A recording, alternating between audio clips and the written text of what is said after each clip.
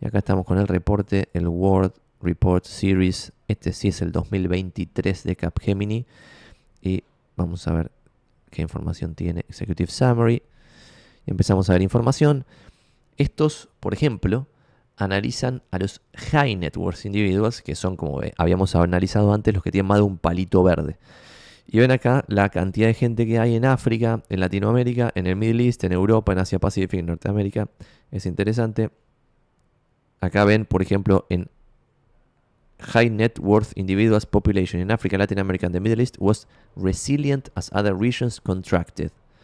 Eh, medio sorprendente ese datito de Latinoamérica y África, que somos muy sorprendentes.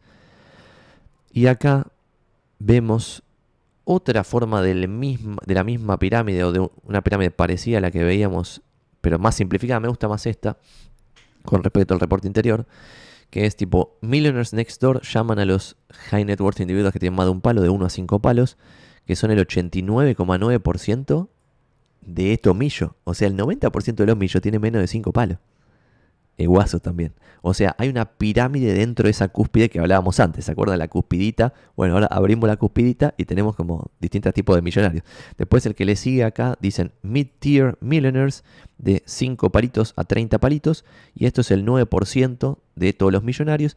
Y los ultra high net worth individuos que tienen más de 30 palos en investable assets son el 1%. El 1% de los millonarios.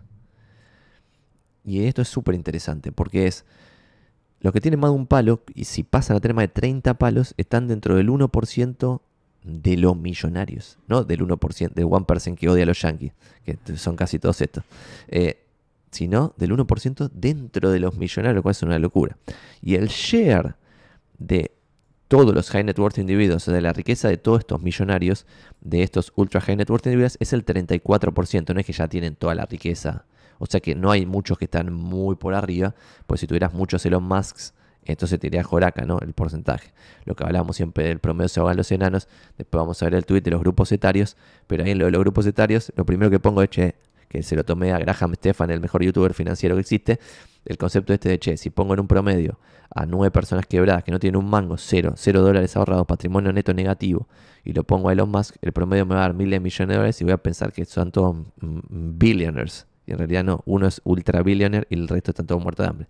Bueno, High Net Worth Population Growth, como ven acá en este reporte, da que se achicó la cantidad de millonarios en el último año entre 2021 y 2022. Y, y hay otros datos copados como esto que es interesante, que es cómo se, cómo se fue, y está pintado en verde, los años con crisis, cómo se va moviendo entre cash y cash equivalents, es decir, guita cash, es por ejemplo ahora en enero del 2023 el 34% un récord, los millonarios están más cash que nunca. Fixed income, que pueden ser bonos o algo que tenga una tasa de interés determinada, 15%. Real estate, 15%, se mantiene real estate más o menos en promedio histórico. Equities, es decir, acciones, 23% en mínimos Fíjense que lo, que está pintado en verde, como decía, son momentos medio de crisis. Y en enero del 2002 tenían 20%, el mínimo fue 20%, ahora están en 23%, 6% menos con respecto al año pasado. Y ese 6% menos se fue casi todo a cash. Y después el último, Alternative Investments, que Alternative falopeadas, lo que yo siempre acá digo que tiene valor intrínseco cero, como mi figurita de Pelé, que se van al carajo, que a los millos tienen 13% en Alternative Investments. Mi teoría siempre es que no puedo tener más del 1% en pelotudeces, pero supongo que si tenés más de 30 palos ahí ya la, la delirás por completo y tenés arte, caballos y pelotudeces a otro nivel. Pero bueno, esto es interesante para ver cómo distribuye su cartera la gente millo. 34% cash en este momento, el año pasado era 24% cash y después 15% fixed income, bonos, ponele, 15% real estate, 23% equities y como decimos acá, las únicas inversiones que alguien puede hacer son acciones, propiedades y bonos. Después cash, eh, o puede ser reserva de valor, por ejemplo, oro o algo tipo un treasury que vence en dos minutos y que por eso es un cash equivalent, ponele, o una caja de ahorro o algo así que vence, lo podés sacar al toque, o un plazo fijo que vence mañana, eh, que pasa de ser un fixed income a algo como cash.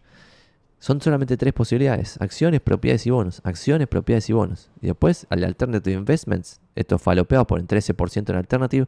Fíjense que en el 2018, 2006 y años de, muy antes eran 9, 10%. Nunca superaba el 10% de los Alternative Investments. Cuanto más se a la sociedad, más sube ese número de Alternative Investments, que está en ese 13% que veíamos ahí. Después te dice causas, no sé qué, bla, bla. Quiero ver si en este reporte, que era uno que estaba muy bueno, decía... la gente sigue valorando el juntarse cara a cara, dice...